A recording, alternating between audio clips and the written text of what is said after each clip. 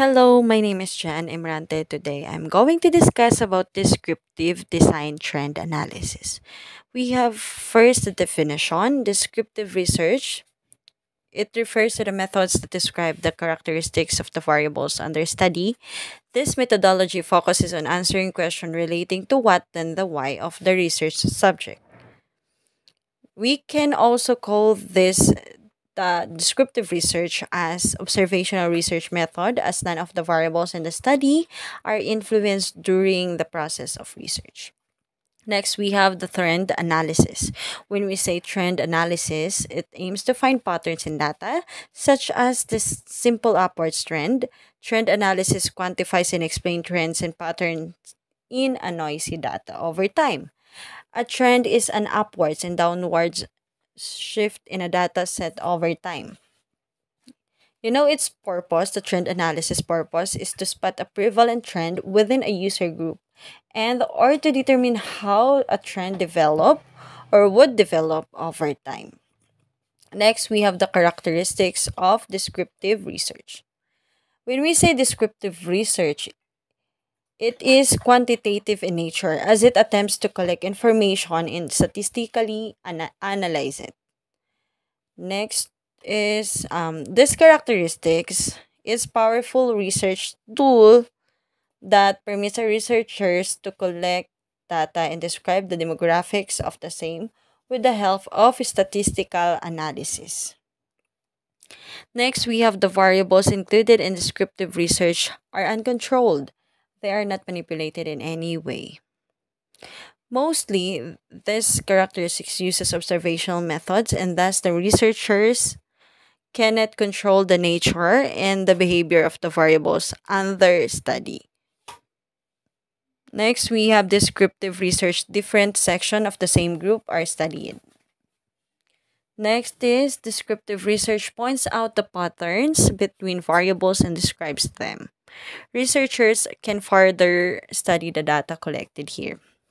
And these characteristics, it guides researchers to further find out why such patterns have been found out and the association between them. Hence, it gives researchers directions towards insightful market research. Next, let's proceed with the descriptive research method. When we say descriptive method, we have here four methods. Survey research, observational method, content analysis, case study method. In survey research, uh, or method, it includes recording the answer of the respondents through surveys or questionnaires Surveys can include polls as well. In this method, it includes a detailed description of the subject or a topic. Next is we have observational and method. Observational method rather.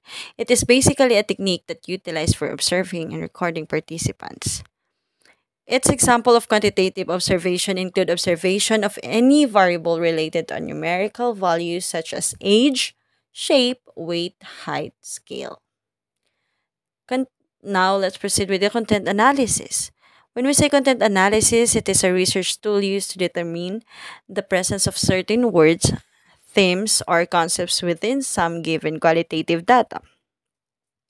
In content analysis, researchers can quantify and analyze the presence, meanings, and relationships of such certain words, themes, or concepts. Right, next we have case study method. You can use the case study techniques for gathering of specific phenomenon. In this method, this method which would enable you to study the situation. Now I have here an example of descriptive research title. This can be your guide on creating your own descriptive research title. Since I'm in special education, I end up with this title. All right. The first one is Challenges of the Special Education Student in Online and Printed Modular Learning Modalities. Next is the interest level of learners in the integration of the interactive online games in special education schools. That's all. Thank you for listening. I hope you learn from my report. Thank you.